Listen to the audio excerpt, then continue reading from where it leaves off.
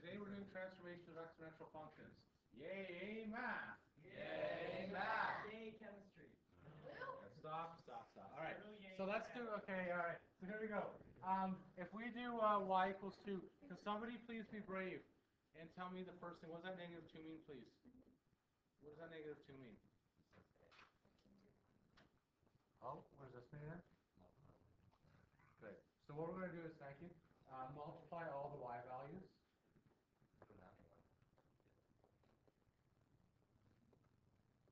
Uh, by negative 2. Good.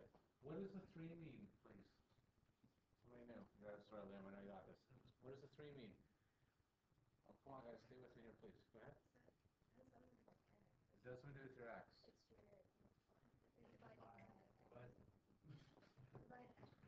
Okay, so remember when you're doing this, it's like you're solving for x. So these are going to be opposite operations inside the brackets like you're solving for x.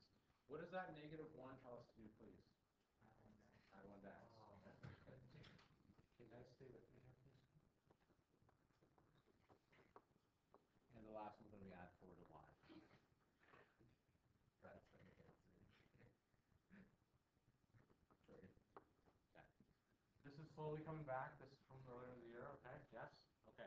So now I'm going to break you up into A's and B's and C's magically. If you can't remember which one you did, that's fine. Just pick your favorite one, okay? So we're going to just make a table of values here. So here's my x. Uh, we're going to do three tables of values. One is going to be 2 to the x. one is going to be 3 to the x. The other one's going to be 0.5 to the x. What I want you to do for me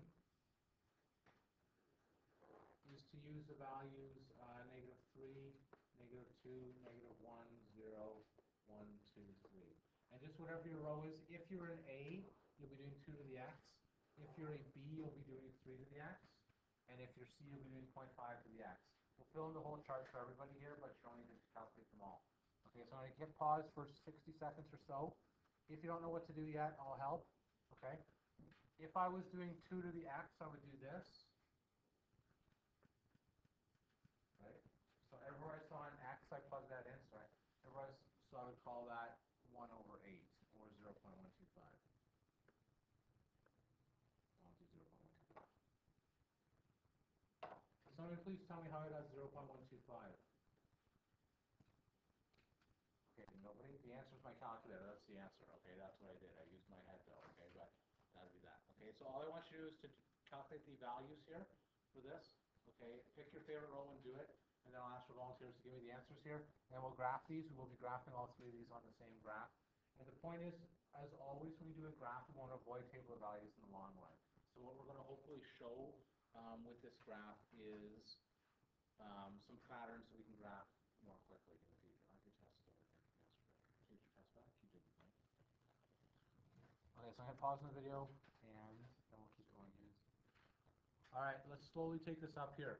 Uh, can somebody that was a, uh, a tell me what 2 to the negative 2 is? 0.25, thank you.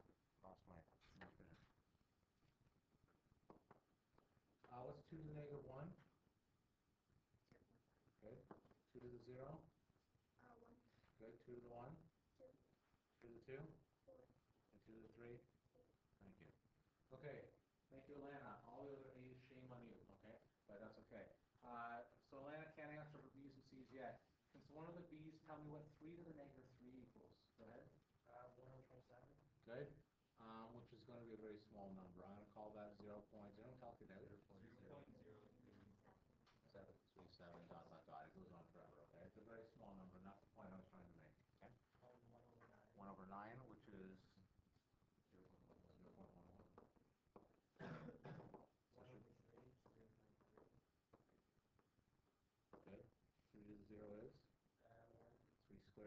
three to the one is, three. three squared is. seven. nine point seven. And again, if you look, I liked, uh, what you said there, because again, one over three is the opposite of three, right? So three to the one, compared to three to the negative one, right? Okay, can one of those point fives be brave here? Go ahead. Eight, Yeah, four, yeah, two, yeah, one, yeah, zero point five, yeah, zero point two five. Yeah. Zero point two five. Wow, cool. Fast, efficient, and correct. Okay? Now, what do you notice about 0.5 to the x? What do you notice about it? Very good. So Alana said, who Alana, who said that, did the two to the x, so notice that the points of point 0.5 to the x are completely the opposite. Why does it make sense that the points are completely opposite? Yeah, Luke, go ahead. Uh, because, um, like, zero point five is half. Yeah, good. Right on, so two and one half, they should be related in some way, right, okay, these are the negative I'm gonna graph all of these. I'm not gonna be able to get up to twenty-seven on my paper, but at least we'll go up to nine on your graph paper, so do a sketch of this, at least be able to get up to nine here.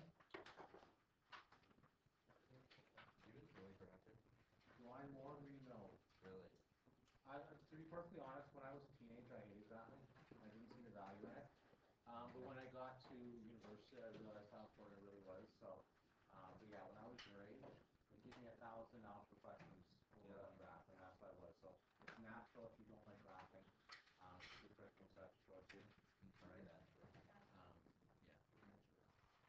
Okay, so I'm going up to 9 on my graph. You can make that to 27, go ahead, but you probably don't need to. Um, so here's a nice little graph here. Um, just a reminder, uh, you can change the scale left and right. Okay, so if I do this graph here, so there's 0, there's 1, there's 2, there's 3. There's negative 1,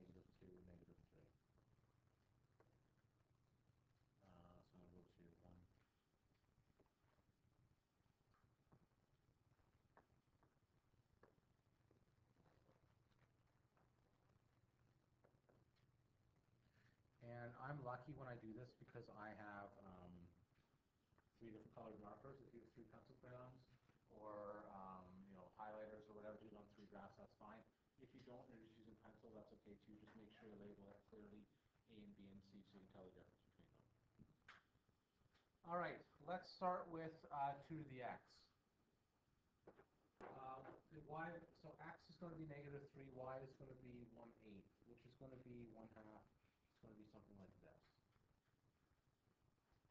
x to the negative 2 is going to be 0.25, which is going to be here. x to the negative 1 is going to be 0.5, which is going to be there. x to the 0 is equal to 1. x to the 1 is going to be 2. x to the 2 is going to be 4. x to the 3 is going to be 8. Aren't all those positive values?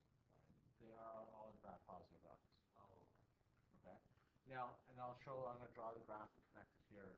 And uh, that's a good observation. We'll explain why here momentarily. Oh, goodness. There's the graph. Can someone guess if I was doing the next one, x equals 4, what would y be? Uh-oh, you guys are too busy graphing. I'll repeat the question, so I'm going to assume that nobody heard me. If I do x is equal to 4, what's y going to be? Yeah, go ahead. Uh, uh, sixteen. 16, okay. If you take a look, we're just timesing the values by 2 each time, right? So, uh, 0.125 times 2 is, point, what about? 0.25 times 2 is 0.5 times 2 is 1, times 2 is 2, times 2 is 4, 8, 16, 32, 54, 28, and so on. Alright, so this is y equals 2 to the x. I do the same thing with 3 to the x in green. Okay, zero point zero three seven is very, very small. Beneath that, in fact. Point one one one is gonna be very small too. Point zero three three is gonna be small too. One is gonna be there, three, and two to the nine. I can't actually do twenty-seven.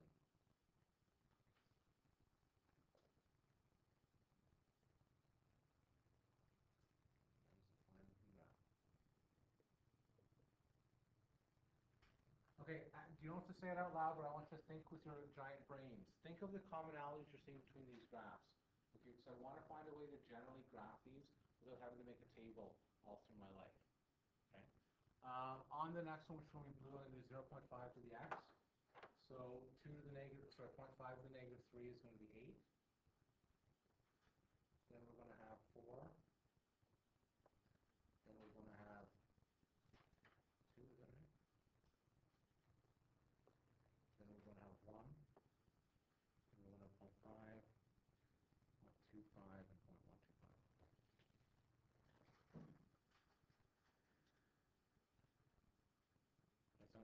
video after this and give you a second to finish your graphs, and we'll talk about them.